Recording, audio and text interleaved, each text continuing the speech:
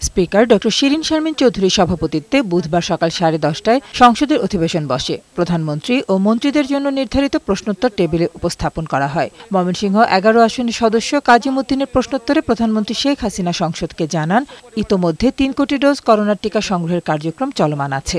শিগগিরই টিকা দেওয়া শুরু হবে। এ সময় করোনা মোকাবিলায় দেশের অর্থনৈতিক কর্মকাণ্ড পুনরুদ্ধারে সরকারের স্বল্প, মধ্য ও দীর্ঘমেয়াদী কর্মপন্থা তুলে ধরেন সংসদ নেত্রী। মশিউর রহমান রাঙার প্রশ্নের জবাবে প্রধানমন্ত্রী বলেন, দীর্ঘমেয়াদী ও টেকসই উন্নয়নের লক্ষ্যে ডেল্টা প্ল্যান করা হয়েছে, যা দেশকে দু সালের মধ্যে একটি সমৃদ্ধ দেশের মর্যাদা অর্জনের পথে এগিয়ে নেবে।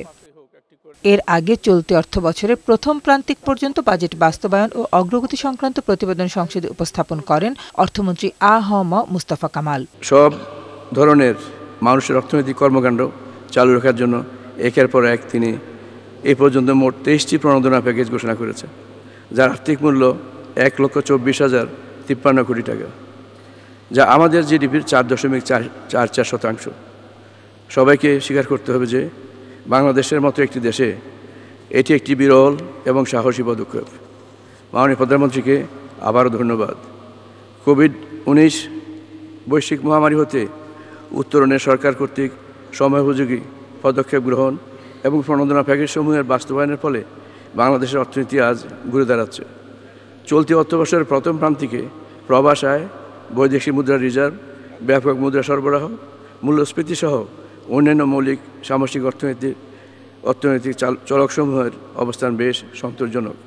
টাকা ডলার বিনিময়ের দীর্ঘদিন যাবৎ স্থিতিশীল রয়েছে।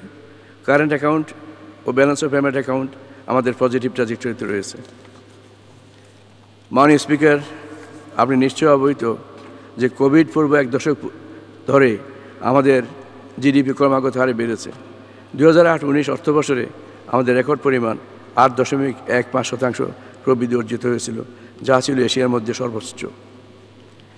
কোভিড উনিশ মহামারীজনিত বৈশ্বিক বিপর্যয়ের কারণে বাংলাদেশের উচ্চ প্রবৃদ্ধি অর্জনের ধারা কিছুটা শ্লথ হয়েছে। তারপরেও দু হাজার উনিশ বিশ অর্থবছরে বাংলাদেশ এশিয়ার মধ্যে সর্বোচ্চ পাঁচ দশমিক দুই চার শতাংশ প্রবৃদ্ধি অর্জন করেছে। যেখানে চীন চীন এবং ভিয়েতনাম ছাড়া এশিয়ার উল্লেখযোগ্য কোনো দেশ অর্থনীতি অর্থনীতি প্রবৃদ্ধি ছিল না। তাদের প্রবৃদ্ধি ছিল ঋণাত্মক। এনার্জি রেগুলেটরি কমিশনের দুহাজার উনিশ সালের বার্ষিক প্রতিবেদন ও দু বিশ অর্থ বছরের নিরীক্ষিত হিসাব ও আর্থিক বিবরণী উপস্থাপন করেন বিদ্যুৎ জ্বালানি ও খনিজ সম্পদ প্রতিমন্ত্রী Nasrul Hamid.